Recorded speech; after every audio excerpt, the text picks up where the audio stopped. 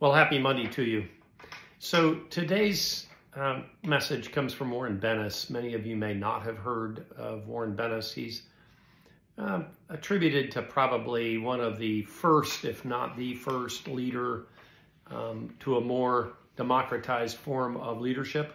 That's kind of my words for it. If you read in it, you might read something slightly different. But certainly, he um, really believed in and spouted and wrote about and consulted on really getting people to do their best, not beating them into it. Now, he wasn't the first guy to say this for sure, but he took it uh, at a more academic level and really pushed the message. He was one of the youngest officers in the European theater during World War II. I don't know how old he was, but he was one of the youngest authors.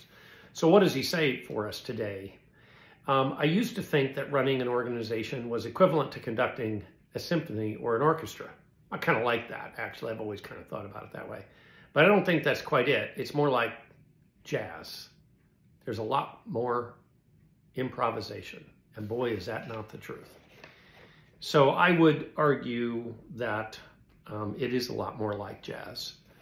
Um, I really don't know what's going to happen next. Um, the person I'm playing um, in my jazz band with is all of a sudden going to do a riff and go this direction, and I just need to follow them.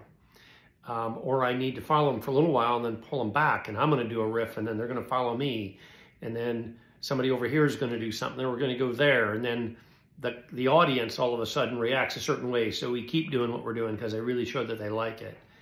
Um, audience can be your customer, right?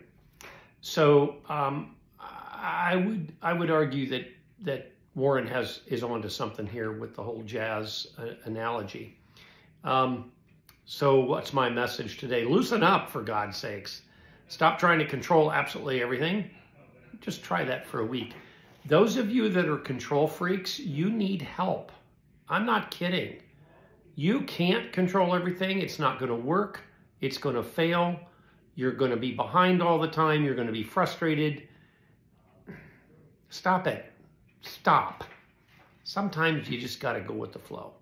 Take a breath and let it work out. You might learn something, and you'd be surprised who will teach you. Have a great week.